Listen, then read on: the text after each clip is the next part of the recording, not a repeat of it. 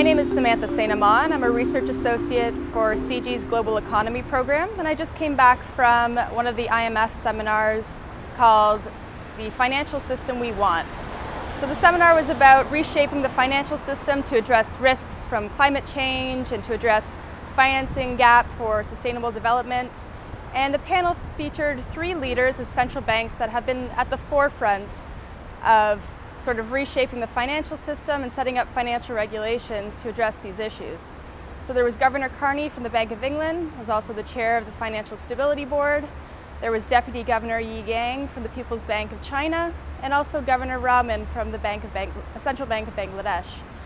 Um, so it, it was quite a high-level panel, and what's really what was really interesting about this is that each of these leaders has has made um, steps to address these issues, but they've all done it in very different ways. So there's quite a wide range of issues that were discussed.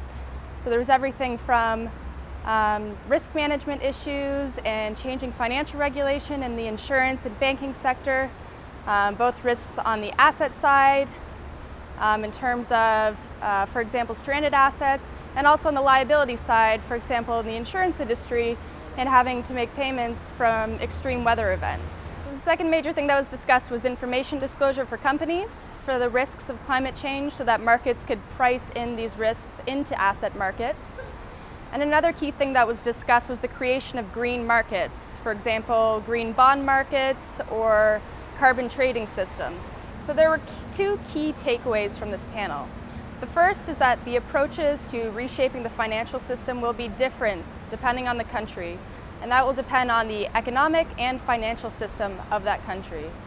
And then the second key takeaway is that we can be optimistic about the progress that is currently being made by all of these different central banks and their governments, as well as the Financial Stability Board, and also about the progress that's going to be made in the medium term, um, especially by the G20, where this will become a major initiative um, in China's leadership.